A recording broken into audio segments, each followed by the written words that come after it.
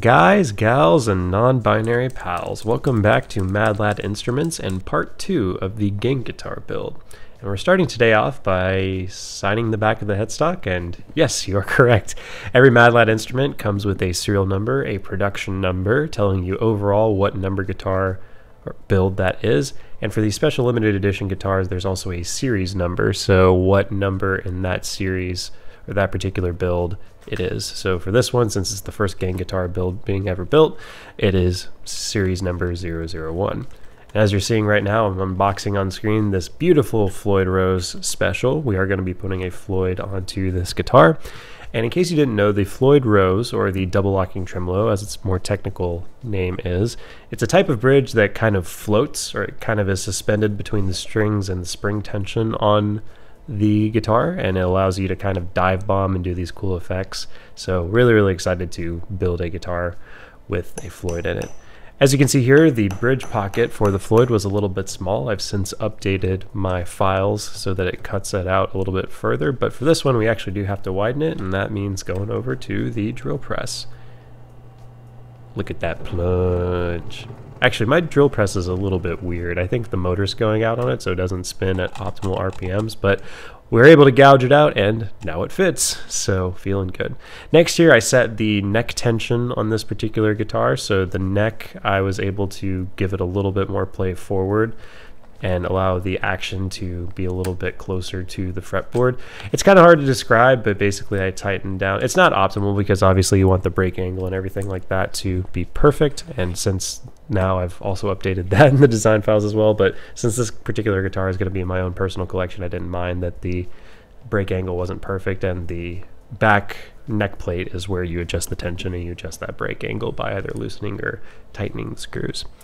From here, we're putting in some locking machine heads, which is kind of redundant on a Floyd Rose or a double locking tremolo. The double locking part means that they're at the nut, they're actually clamps that lock the string down, so the tuning machine is kind of out of the equation at that point because it's locked down at the nut. But I still like locking machine heads or locking tuners, and they're standard on pretty much every Mad Lad instrument moving forward, so why change it? So here we are setting the straightness. You saw me using the file just a second ago. That's just a straight object to make sure that they are all in line and straight with one another. And after that, we just drill a couple holes and we get the screws in there and that will set the tuning machines in place.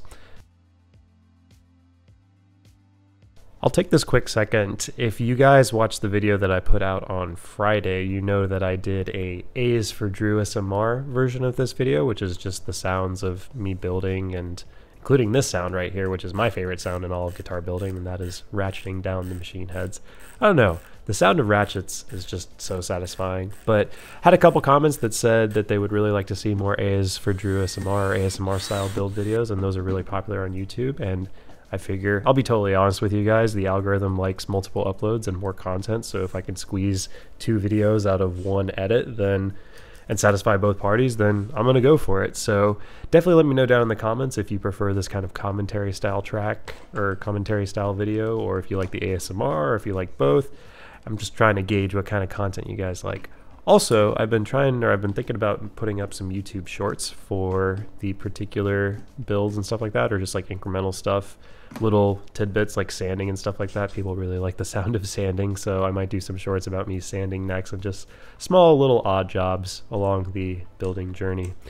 And we're back to the build here. You can see that I'm using my straightness gauge to check the straightness, and thankfully this neck was pretty well behaved. I didn't have to do too too much in the way of making sure that it was straight. It got pretty much straight as an arrow after just a little bit of tweaking. You may have also seen me going in with a chisel just a couple minutes ago. I did need to clear out a little bit of the material around the truss rod pocket, but this is something else that I also updated in the design file. So that's one of the great things about building guitars, especially in the early days, is you get to find all these things and refine your designs, and it really starts to become your design versus just some models that you found on the internet and you've modified to be your own. So every incremental step, every chance that I have to improve the designs, it makes me feel really, really good. And also included in that is making your own parts, like these 3D printed pickup rings that you just saw there. And from there, we're going to go into a time lapse here. I am getting the trem bar, or that's not the trem bar, that is the trem claw, that the part that the springs grab to on the back. installed and just some odd little things here and there to get everything set up. On Floyd Roses, you also need a string tension bar, so that's me installing it up there at the top. And before you know it, we start stringing up the Floyd. And Floyd Roses, from what I've heard, or double locking tremolos, from what I've heard, everybody tells me online that you should always tune them from middle out. So you may be used to tuning your guitar with going from the low E to the high E, but with trems, you want to do the D and the G string, then the A and the B string, and then the low E and the high E. It basically allows you to keep the same tension across the bar and the Floyd won't like lose the tension and cause tuning destabilizing and stuff like that. It's a long story.